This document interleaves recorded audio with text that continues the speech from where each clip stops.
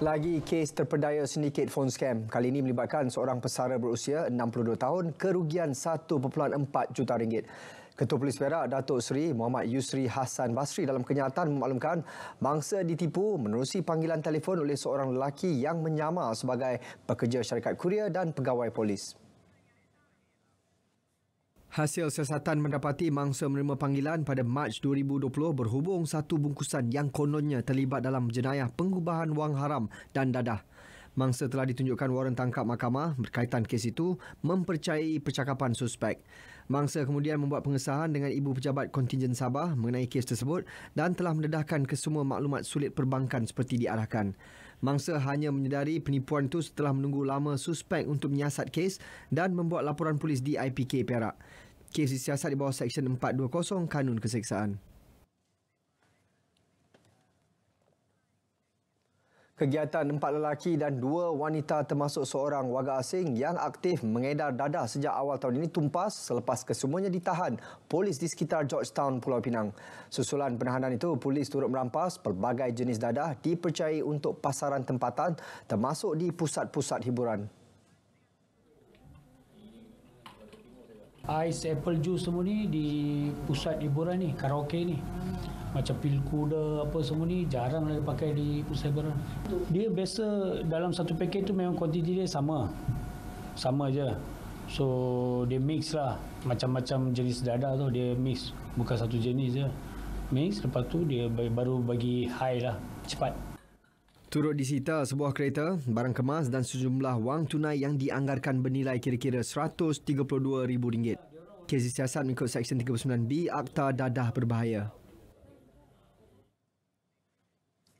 569 notis saman dikeluarkan JPJ Perlis kepada penunggang motosikal atas pelbagai kesalahan sepanjang operasi khas motosikal bermula 1 September sehingga semalam.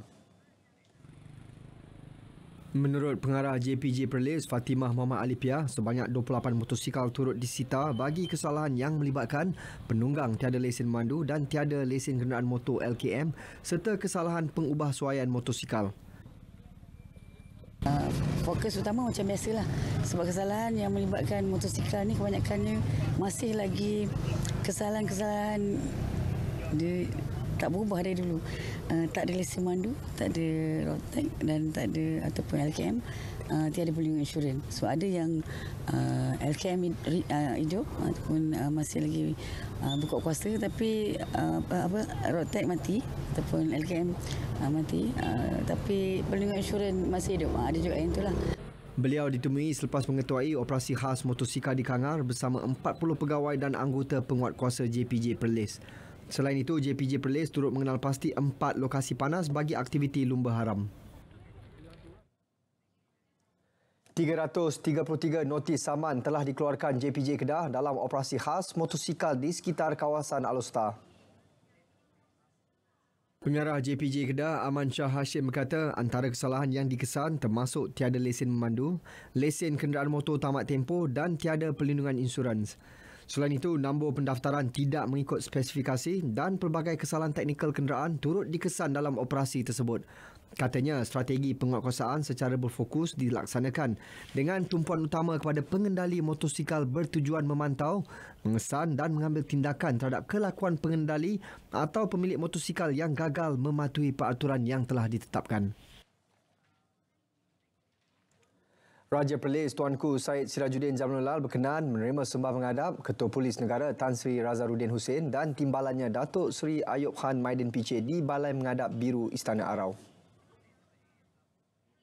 Tan Sri Razaruddin telah dilantik sebagai Ketua Polis Negara yang baru selama dua tahun berkuat kuasa 23 Jun menggantikan Tan Sri Akhil Sani Abdullah Sani yang bersara lebih awal.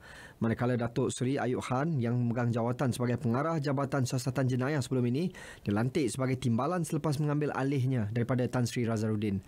Tuanku Syed Sirajuddin berharap polis di Raja Malaysia akan terus menjalankan tugas masing-masing dengan penuh cekap, amanah, berintegriti bagi memastikan negara ini kekal aman dan damai khususnya Perlis. Berangkat sama Raja Perempuan Perlis Tuanku Tengku Fauzia Almarhum Tengku Abdul Rashid.